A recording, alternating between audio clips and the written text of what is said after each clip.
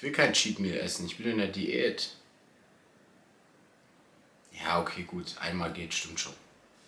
Und damit herzlich willkommen zu einem neuen Video auf meinem Channel. Und heute soll es um das Thema Cheat Meal gehen und wie ich es schaffe, dass ich davon so wenig wie möglich negative Auswirkungen in kurzer Zeit habe. Denn ein Cheat Meal ist meistens so, wenn ihr es esst, dass ihr davon sehr viel Wasser zieht, euch meistens am nächsten Tag scheiße fühlt. Die Verdauung kann auch beeinträchtigt werden. Und eventuell habt ihr gar nicht den erhofften Effekt, dass ihr da irgendwie mehr Power von habt oder sowas. Und in diesem Video gebe ich euch ein paar Tipps, wie ihr es schafft, durch ein Cheat Meal trotzdem kaum negative Effekte zu haben. Viel Spaß mit dem Video. McDonalds hat neue Gutscheine, habt ihr das schon gesehen? Also wenn das Video hier rauskommt, dann sind die auf jeden Fall noch gültig. Wahnsinn. Geil. Und zwar, egal was ihr euch gönnen wollt, soll es eine Pizza sein, soll es eine Riesenladung Sushi sein, soll es McDonalds sein, soll es vielleicht was Selbstgemachtes sein, eine fette Lasagne oder irgendwas, worauf ihr halt einfach Bock habt. Jeder mag was anderes und das ist auch gut so. Bevor ihr euch aber damit alles ruiniert und sämtliche Sachen falsch macht, die eigentlich jeder irgendwo falsch macht, wenn er sich ein Cheat Meal mal gönnt, dafür habe ich dieses Video jetzt hier gemacht. Denn jeder von euch kennt es, ich meine, wir essen alle gerne Reis, wir essen auch alle gerne sauber und fettarm und auch immer alles richtig getimt, genug Gemüse und so weiter. Denn wir lieben den Lebensstil, wir sind Bodybuilder und wir wollen auch alles richtig machen. Trotzdem sind wir irgendwo auch Menschen und manchmal kann ein Cheat Meal ja auch sinnvoll sein für A, die Psyche und B, den Stoffwechsel und wie das eben richtig funktioniert. Das ist immer noch ein Riesenmythos, wie ich feststellen muss. Es gibt so viele Leute, die da tatsächlich um diese Cheat Days, Cheat Meals und so weiter einen riesen Zinnober machen und tatsächlich dann am Ende irgendwie alles verkacken. Man muss nämlich erstmal verstehen, dass wenn man Wasser zieht, was hauptsächlich durch ein Cheat Meal passiert. Ihr werdet nicht von einem Cheat Meal fett werden, relativ egal wie groß das Ganze ist. Natürlich gilt es immer noch Kalorienaufnahme.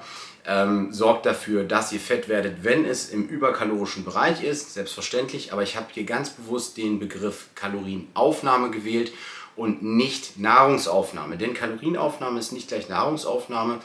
Ein Beispiel, ich esse jetzt ungefähr 1,5 Kilogramm Haferflocken. Natürlich ist das ziemlich eklig und die wenigsten von euch werden das auch am Stück essen können. Ich würde es wahrscheinlich schaffen. Kommt auch an, welches Flavor drin ist. An dieser Stelle schaut euch das neue Flavored Pulver auf. Big und die Ehren mit meinem Rabattcode Janzin könnt ihr natürlich auf Flavored sparen, wenn ihr solche Riesenmengen Haferflocken mal essen wollt. Spaß beiseite, aber trotzdem ist das Geschmackspulver ziemlich geil. Wenn ihr jetzt 1,5 Kilo Haferflocken esst, dann ist das ein Lebensmittel, was grundsätzlich sehr viele Ballaststoffe enthält, was auch relativ langsam verdaulich ist und was natürlich dafür sorgt, dass äh, euer Magen-Darm-Trakt extrem arbeiten muss. Ja? Gerade wenn die vielleicht noch nicht so hundertprozentig gequollen sind und man zimmert sich die rein. Viele von euch werden das kennen, das liegt wie ein Stein im Magen, deswegen nimmt man das ja Pre-Workout normalerweise auch nicht, sondern eher dann was leicht verdaulicheres wie Reis oder Reismehl zum Beispiel. Diese Haferflocken machen halt sehr lange satt. Das ist gerade an einem Rest-Day ein sinnvolles Frühstück beispielsweise, um halt einfach lange satt zu sein und gut über den Tag zu kommen, wenn man in der Diät ist. Aber diese Riesenmenge an Haferflocken wird mit Sicherheit vom Körper in Form von Durchfall wieder rausgeschmissen werden. Das heißt, ihr könnt nicht 100% dieser Kalorien, die ihr da zu euch nehmt, auch gleichzeitig als aufgenommene Kalorien rechnen. Allerdings ist das hier eine Milchmädchenrechnung, denn ich weiß ja nicht, wie viel davon aufgenommen wird. Und es gilt bei uns immer im Bodybuilding-Sport, was nicht messbar ist, ist schwierig zu kalkulieren, außer man kennt seinen Körper wirklich aus dem FF. Ich selber von mir behaupte, dass ich das mittlerweile kann, aber das hat jetzt auch über 13 Jahre Bodybuilding gedauert, bis ich das kann. Und halt auch sehr, sehr viele dumme Experimente und sehr, sehr viel Zeit gekostet, äh, sich damit zu beschäftigen. Mm, da ich aber nichts anderes als das mache, keine Hobbys, kein Leben und auch keine Freunde habe, ähm, bin ich eigentlich äh, auch immer in der Lage gewesen, dass ich mich damit so viel beschäftigen konnte und dementsprechend jetzt natürlich relativ viel in diesem Bereich weiß, weil ich es schon ausprobiert habe. Aber ich kann euch sagen, nichts ist komplett gleich bei mir, bei euch, bei keinem von uns. Das heißt, ihr seid nicht vergleichbar und nur weil etwas bei mir funktioniert, heißt es das nicht, dass es bei euch funktioniert. Versucht die Sachen nicht von anderen zu kopieren oder von euch zu beziehen oder auch wenn ihr Sachen in meiner Instagram-Story seht, ist das vielleicht gar nicht immer das Schlauste, weil ich mache auch nicht immer nur das Schlauste. Ich mache viele Dinge, die schlau sind, aber nicht immer das, was auch hundertprozentig auf jeden von euch übertragbar ist. So gesehen, um nochmal zu dem Haferflockenbeispiel zurückzukommen, Ihr seid das, was ihr verdaut, nicht das, was ihr esst. Das ist ein Riesenunterschied, den man einmal verstehen muss. Kommen wir zurück zum Cheat Meal. Wir haben jetzt von unserem Coach eine Freifahrtschein, eine Freifahrtserklärung bekommen, dass wir einmal was essen dürfen. Geburtstag, Weihnachten, keine Ahnung, Jahrestag mit der Freundin zum Beispiel. Wir dürfen jetzt eine Cheat-Mahlzeit unserer Wahl essen. Geil. Dafür lassen wir einfach eine Mahlzeit aus dem Plan weg. Das ist mit dem Coach abgesprochen. Wir haben ein bisschen mehr Cardio gemacht, das Ganze kompensiert. So mache ich es mit meinen Athleten oft bei solchen Events, wenn sie in der Off-Season sind, weil so what? Funktioniert in der Regel immer einfach mal den Tag vorher und den Tag danach eine halbe Stunde mehr Cardio. Und dann schafft man das eigentlich auch zu kompensieren. Ist gut für den Kopf, man schwitzt ein bisschen was aus und es läuft. Allerdings, wie ich schon gesagt habe, werdet ihr von diesem anderen Essen definitiv Wasser ziehen. Ein Athlet, der jetzt die ganze Zeit 98 Kilo wiegt, 97,9, 98,2, 98,0, 97,9 äh, und so auf seinen Maintenance-Kalorien halt die ganze Zeit fährt, hat einen sauberen Ernährungsplan, der wiegt auf einmal 101. So, wie konnte das jetzt passieren, dass er einfach drei Kilo zugenommen hat an einem Tag? Das ist ja kein Fett. Das ist tatsächlich Wasser, was er gezogen hat durch ein anderes Nahrungsmittelangebot, was seinem Körper Stress gemacht hat. Um das Ganze jetzt zu vermeiden, ihr kennt damals von mir noch das Salzvideo. Wenn ihr es nicht kennt, scrollt mal bitte in meinem Feed runter und guckt euch das Video Salz an. Extrem wichtig, man muss erstmal verstehen, ein regelmäßiger und moderat bis hoher Salzintake, so hoch, dass das natürlich noch gesund ist, auch in dem Video erkläre ich, dass auch zu viel sehr schädlich sein kann, aber eine richtige und ausbalancierte Salzmenge über den kompletten Tag, auch zu den Süßspeisen zu euch genommen, sorgt dafür, dass der Körper generell mit Natrium lernt, besser umzugehen. Denn jedes Cheat Meal, was ihr esst, enthält eine riesige Menge Natrium. Da könnt ihr von ausgehen. Wenn es natürlich ein Cheat Meal ist, was ihr selber zubereitet und ihr macht da kein Salz rein. Aber ich gehe einfach mal davon aus, dass da auch verarbeitete Speisen dabei sind, wie zum Beispiel Nudeln, Brot etc. Dann habt ihr natürlich trotzdem eine riesen Salzmenge und wer ist schon alles ungewürzt, wenn er sich ein Cheat Meal machen darf. Also völliger Blödsinn. Grundsätzlich auch zum Beispiel Tiefkühlpizzen, egal was ihr kauft, Käse, alles hat sehr viel Salz und das sorgt letztlich dafür, dass natürlich die Wasserspeicherung im Körper deutlich höher ist, als wenn ihr euren normalen Plan isst. Das heißt, wenn ihr jetzt natürlich normal immer 10 Gramm Salz isst und ihr isst an dem Tag einfach 22 Gramm Salz, weil ihr halt einfach in dem Cheat Meal 12 Gramm Salz drin habt, was ihr vielleicht gar nicht wisst, auswärts im Restaurant oder wo auch immer, Sojasauce beispielsweise, ultra hoher Salzgehalt, Sushi, zack, rein und gib ihm, der Salz ist noch gesalzen, äh, der Reis ist noch gesalzen. So, das wird alles relativ viel und ne, dann haben wir auch schon ein Problem, dass das dann wirklich eine sehr, sehr hohe Menge ist auf einmal. Somit habe ich also ein Ungleichgewicht vom Salz und das sorgt erstmal dafür, dass mein Körper anfängt, Wasser zu speichern. Sollte er dann auch noch gewöhnt sein, zum Beispiel Sachen wie Magerquark zu bekommen, die von den Kalorien her nicht besonders hoch sind, hauptsächlich Eiweiß enthalten und praktisch gar kein Salz, dann, äh, und das eine Mahlzeit von euch ist, wo ihr kein Salz dazu nehmt, dann ist der Körper meistens schon angehalten, dass er weiß, okay, ja, ich kriege nicht so viel Salz, passt schon. Dann kriegt er auf einmal ganz viel Salz und dann speichert er natürlich, vollkommen klar. Auch Blutnatriumlevel gehen in diesem Fall einfach hoch beim Cheat Meal. Dadurch habt ihr wahrscheinlich noch den Tag nach dem Cheat Meal und den Tag danach auch noch extrem erhöhte Gewichte. Ich beobachte das bei ganz vielen auch immer, die keine regelmäßige Salzzufuhr haben, dass ihr praktisch ein Cheat Meal habt, am Tag danach seid ihr schwerer, am Tag danach, obwohl ihr euren Clean Plan wieder gegessen habt, seid ihr noch schwerer. Und erst dann pendelt sich das Gewicht wieder ein. Das ist natürlich extrem frustrierend, wenn man sagt, okay, ich habe einen Cheat Meal gehabt, nächsten Tag habe ich wieder clean gegessen und trotzdem habe ich nochmal zugenommen am dritten Tag. Woran liegt das? Das liegt tatsächlich daran, dass der Körper völlig outgeengelt ist. Ihr habt ein Aldosteronproblem. Guckt euch, wie gesagt, gerne das Salzvideo an und der Körper kann damit einfach nicht umgehen. Deswegen ganz wichtig, regelmäßige Salzzufuhr auf euch angepasst in einer bestimmten, relativ großen Höhe über einen Zeitraum, der auch mal länger ist als eine Woche dann habt ihr das Problem, dass ihr von einem Cheat Meal oder eben nicht das Problem, dass ihr von einem Cheat Meal so viel Wasser zieht. Wichtig natürlich trotzdem differenziert betrachten, weil ich rede hier immer wieder von Athleten, die zu mir kommen und zum Beispiel als Männer mit 100 Kilo 4 Gramm Salz am Tag essen, weil alles unverarbeitet gegessen wird, der, Salz, der Reis wird nicht gesalzen, äh, es gibt nur Kräuter oder Paprika-Gewürz als aufs Fleisch und dann isst man vielleicht noch zwei, drei Eier am Tag und die haben dann noch ein bisschen Salz drin und das alles weitere nicht ähm, weil es alles unverarbeitet ist. So, das, von solchen Leuten rede ich, die kriegen Probleme mit Cheat Meals. Leute, die einen regelmäßigen Salzintake haben, und ich rede hier von einem hohen Salzintake, rede ich von einem Salzintake, der immer noch niedriger ist als der Otto-Normalverbraucher, der sich halt einfach von Schrott ernährt. Ähm, ist in unserem Bereich sozusagen anders anzusehen als ein medizinisch gesehen hoher Salzintake. So, wenn ich das jetzt habe, also erstmal eine geregelte, konstante Salzzufuhr in jeder Mahlzeit eine bestimmte Menge an Salz, die auch konstant gehalten bleibt, dann habe ich schon mal eine gute Basis, wenig Wasser zu ziehen. Was kann ich denn noch rund um ein Cheat Meal machen? Ich kann mich um meine Verdauung kümmern. Zweiter Punkt, ganz wichtig. Erster Punkt Salz, zweiter Punkt Verdauung. Ich brauche definitiv, definitiv Enzyme. Ich muss Verdauungsenzyme zuführen, wenn ich ein Cheat Meal esse. Ihr könnt euch das so vorstellen, ich esse jetzt, mache eine Oldschool Diet und esse nur Reis, Hähnchen und Brokkoli. 14 Wochen lang. Der Körper kriegt danach, ich esse danach halt einfach mal ein Rindersteak. Ich werde die Verdauungsprobleme meines Lebens haben. Warum? Weil der Körper die Enzyme einfach nicht mehr herstellt dafür. Er hat nur Hähnchen bekommen als Eiweißquelle. Warum soll er die Enzyme herstellen, um Rindfleisch vernünftig aufspalten zu können? Grundsätzlich sind alles nur Aminosäurestrukturen, das ist mir vollkommen bewusst.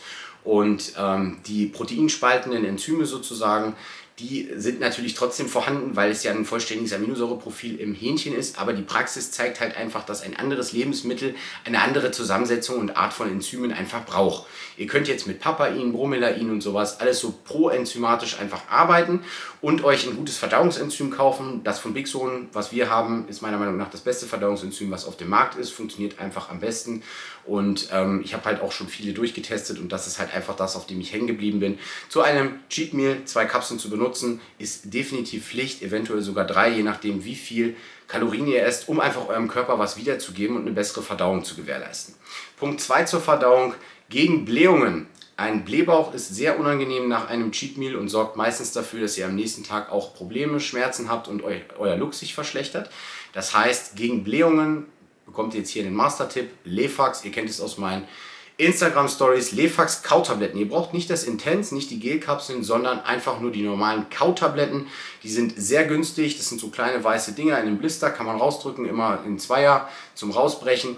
Ein bis zwei Kapseln zu der Mahlzeit kauen, beziehungsweise während der Mahlzeit kauen, also ein paar bisschen essen, kauen, weiter essen. Bringt euch enorm viel gegen Blähungen, sorgt dafür, dass auch die Speisen gut durch den Darm durchgehen, ihr keine Verstopfung davon bekommt, etc. Das ist wirklich der zweite Trick. Ähm, ist aber auch kein so krasses Laxanz wie zum Beispiel Dulcolax, was dafür sorgt, dass ihr Durchfall kriegt. Das würde ich nämlich nicht empfehlen, weil ihr sollt euren Darm nicht ficken und ihr sollt euch auch euren Endausgang, sage ich mal, hinten nicht kaputt machen, weil sowas kann zu Hämorrhoiden führen und natürlich auch zu schlimmeren Erkrankungen, die im Nachgang noch kommen. Deswegen keine extremen Laxantien, aber Lefax ist vollkommen okay. Solltet ihr jetzt nach der Cheat-Mahlzeit noch Probleme haben, benutzt Iberogast. Iberogast ist ein Pflanzenextrakt, schmeckt ein bisschen wie Jägermeister, nicht so geil auf jeden Fall. 15 bis 20 bis 25 Tropfen, wieder je nach Geschlecht oder Menge des Cheat Meals, äh, mal mehr, mal weniger. Äh, nach der Mahlzeit zum Verdauen hilft extrem gut, sind Kräuterextrakte. Ähm, ja, an dieser Stelle definitiv auch sinnvoll einzusetzen. Also diese drei Verdauungsprodukte, Enzyme allen voran, um die Mahlzeit vernünftig aufzunehmen, Lefax gegen die Blähungen und damit alles gut durch den Darm geht und durch den vollen Bauch sozusagen, dass er dem ein bisschen entgegenwirkt. Am Ende noch Iberogas, diese drei Sachen zur Verdauung. Jetzt haben wir erstmal schon dem Wasserziehen entgegengewirkt, da kommen wir aber gleich nochmal drauf. Da gibt es nämlich noch einen zweiten Trick. Dann haben wir der Verdauung schon mal was Gutes getan, dass das, wenn ihr da was esst, was völlig aus der Regel ist von eurem Plan und ganz andere Inhaltsstoffe hat, Käse werden die wenigsten von euch im Plan haben, hoffe ich. Und Käse ist auf vielen Cheat Meals drauf. So. Also das kann schon mal euch die Beine brechen. Deswegen, ne? Verdauung, darauf achten, ganz wichtig. Nächster ganz wichtiger Punkt bei einem Cheat Meal, was mache ich, und da kommen wir jetzt wieder aufs Wasser ziehen, nochmal zurück, was mache ich mit meinem Trinken dazu? Der Tipp, den ihr jetzt von mir bekommt, der ist sehr ungesund, und der sollte nur von Wettkampfsportlern eingesetzt werden, beziehungsweise von Leuten, die wirklich ernsthaft Bodybuilding betreiben und ihren Körper kennen. Haut direkt vor eurem Cheat Meal einen Trinkstopp rein. Wettkampfathleten haben das früher oftmals so gemacht im Oldschool-Bereich. Es wird getrunken bis zu einem bestimmten Punkt und ab dem Punkt, wo nicht mehr getrunken wird, kann man richtig laden. Da wurde dann meistens aber noch nass geladen mit Reis und so weiter. Man lässt ja heutzutage die Flüssigkeit im System, was auch sehr sinnvoll ist, gerade bei Bühnenathleten. Man kriegt nicht diesen vollen Bühnenlook, wenn man halt einfach keine Flüssigkeit im System hat. Also nur trocken zu laden bringt nichts.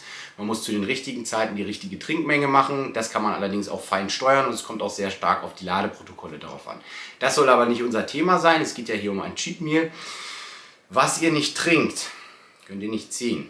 So, Wenn ihr den Tag über sehr viel getrunken habt und dann um 17 Uhr einen Trinkstopp macht, um 18 Uhr geht ihr zu McDonalds, wird es und danach nichts mehr trinken. Ihr werdet den Durst eures Lebens haben, weil das Ganze extrem salzig ist, weil euer Körper verlangt, dann Wasser zu ziehen. Wenn ihr dem widerstehen könnt und einfach pennen geht, dann steht ihr nächsten Morgen zwar mit einem Pappmaul auf, ist sogar in der Nacht unangenehm, aber man darf dem nicht erliegen. Man darf dann noch nicht trinken. Erst morgens, wenn man wach wird, direkt Tee machen, Brennnesseltee, sehr wichtig, Verdauungstee, sehr wichtig, gegebenenfalls Birkenblättertee, auch nicht schlecht, kann man alles zusammen machen, mehrere Teebeutel, einen großen Shaker hängen, 700 Milliliter Flüssigkeit, direkt rein, ab aufs Cardio-Fahrrad. Gegebenenfalls noch ein Stimulanz rein, Koffein ist die einfachste Lösung. Aufs Cardio-Fahrrad erstmal ausschwitzen, danach wieder ordentlich trinken, den Wasserkreislauf wieder anregen, aber erst am nächsten Morgen. Nicht am selben Tag, nicht in der Nacht. Das ist wie gesagt ein Tipp, der nicht an alle hier rausgeht. Wenn ihr das auf einem Level macht, was nicht professionell ist, wenn ihr euch nicht im Griff habt, keinen festen Ernährungsplan fahrt, nicht vernünftig trainiert, sondern einfach nur versucht mit Ernährung euer Gewicht zu reduzieren, dann ist dieser Tipp für euch gestorben. Den dürft ihr nicht machen, verbiete ich euch hiermit. Aber für alle anderen, die eben diese Sachen im Griff haben, ihren Körper gut kennen, für die ist ein Trinkstopp teilweise der absolute Gamechanger dafür, dass man nächsten Morgen manchmal sogar noch leichter aufwacht nach dem Cheat Meal, als man normalerweise ist. Zu diesem Thema auch noch wichtig, ihr müsst dann auch am nächsten Morgen direkt wieder Salz zuführen. Selbst wenn ihr jetzt beispielsweise euer Frühstück vielleicht skippt, weil euch noch schlecht ist vom Vortag oder so, dann ist das auch nicht die optimale Lösung, aber machen halt manche, dann auf jeden Fall trotzdem Salz rein, gerade beim Cardio und so weiter darauf achten, dass weiterhin Mineralien reinkommen, dass genug Flüssigkeit dann wieder reinkommt. Das ist enorm wichtig, damit man einfach keine negativen gesundheitlichen Aspekte hat. Denn mit einem Trinkstopp und viel Schrott essen werdet ihr natürlich auch eure Niere vergewaltigen, was ihr nicht machen solltet. Dementsprechend wichtig als Tipp Nummer 4, zusätzlich die richtigen Supplements nehmen. Dem allen voran auch noch Kidney Plus von Big Sohn von uns. Definitiv empfehlenswert. Doppelte Menge tatsächlich. Abends vorm Schlafen gehen eine komplette Dosierung rein. Morgens nach dem Cheat Meal eine komplette Dosierung rein. Also zweimal drei Kapseln. Abends drei, morgens drei. Ähm, und damit habt ihr euren Nieren schon mal etwas Gutes getan. Wenn ihr sie schon so vergewaltigt und einen Trinkstopp aussetzt, dann solltet ihr sie zumindest da in, dieser, in diesem Bereich noch pflegen. Was euch zusätzlich noch was bringen wollt, wird, sind zusätzlich so kleine ja, Alltagstricks, sage ich mal. Ähm, am nächsten Morgen eiskalt duschen, definitiv gut, regt den Stoffwechsel an, ihr werdet direkt wach, ihr habt Bock den Tag zu starten, weil ihr werdet euch matschig fühlen nach einem Cheat Meal. So gut geht es einem da meistens nicht, gerade wenn man sich vorher richtig gut ernährt hat und eben auch solche Hardcore-Sachen macht, wie mit dem Trinkstopp. Dann sollte man auf jeden Fall erstmal gucken, dass man wieder fit wird. Genug Cardio machen an dem Tag auch und am nächsten Morgen. Und zusätzlich, ähm, was die Supplements angeht, könnt ihr natürlich auch noch das Ganze unterstützen, indem ihr etwas benutzt, was eure Kohlenhydrate im Cheat Meal vorher geschattelt hat, beziehungsweise danach shuttelt und auch nüchtern weiter shuttelt, weil Blutzucker ist natürlich auch wieder ein Thema, was bei einem Cheat Meal gegebenenfalls auch dafür sorgen kann, dass euer Körper eben nicht mehr so funktioniert, wie ihr es gewöhnt seid. Das heißt Invictus GDA. Ihr könnt einen Glucose Disposal Agent benutzen, natürlich vor dem Cheat Meal, auch nach dem Cheat Meal und auch am Morgen danach, vor dem Cardio, um euren Blutzucker wieder in einen Bereich zu bekommen, ähm, der schön niedrig ist. Das heißt, ihr versucht die Glucose, die in eurem Blut vorherrscht, dadurch, dass ihr so viel Schrott gegessen habt, in die Zelle zu bekommen, um sie da einfach zu verstoffwechseln in der Muskelzelle und das ist halt einfach schlau, weil wenn der Blutzuckerspiegel niedriger ist, kommt ihr auch schneller in die Beta-Oxidation, sprich Fettverbrennung und äh, seid so gesehen wieder dabei, was Vernünftiges zu verstoffwechseln und nicht nur das Cheat Meal auszugleichen. Ihr könnt also mit einem GDA auch dafür sorgen, dass eure Stoffwechsellage sich verbessert und eben auch die Nährstoffe da ankommen, wo sie sollen und ihr vielleicht im nächsten Tag auch ein etwas geileres Training habt. Dazu würde ich definitiv ein reaktives Protokoll empfehlen, dass ihr zum Beispiel sagt, wir messen unseren Blutzucker, ist er über 100, nehmen wir 2 bis 3 Kapseln GDA ist der über 90, nehmen wir 1 bis 2 Kapseln GDA ist der über 85, nehmen wir eine Kapsel GDA. Vor dem Cardio zum Beispiel morgens nüchtern am nächsten Tag. Und natürlich müsst ihr vor der Cheat Mahlzeit euren Blutzucker nicht messen, aber ihr haut euch einfach trotzdem zwei Kapseln GDA rein oder auch drei. Wie ihr die Aufnahme sogar noch weiter verbessern könnt, ihr könnt Pfefferextrakt noch benutzen, das beschleunigt tatsächlich auch nochmal ein bisschen die Verdauung und sorgt dafür, dass Nährstoffe generell besser aufgenommen werden, weil die Magenschleimhaut leicht gereizt wird. Also nüchtern einfach noch Cayenne-Pfefferkapseln dazu, gibt es für einen günstigen Preis. Könnt ihr dazu kombinieren zum GDA beispielsweise, auch am nächsten Morgen noch. Äh, wichtig dazu, dann eben genug zu trinken. Vor dem Cheat Meal könnt ihr ja noch trinken und nächsten Morgen ja auch wieder. Das heißt, äh, da einfach die Cayenne-Kapsel rein, weil die wird euch den Magen wegbrennen, wenn ihr wenig Flüssigkeit drin habt. Ähm, dementsprechend damit rechnen und viel, viel Flüssigkeit konsumieren dazu, dann äh, funktioniert das Ganze auch. So, jetzt habt ihr die wichtigsten vier Sachen gehört, um ein Cheat Meal einigermaßen gut zu kompensieren. Ansonsten ist es wichtig, dass ihr das Ganze auch genießt.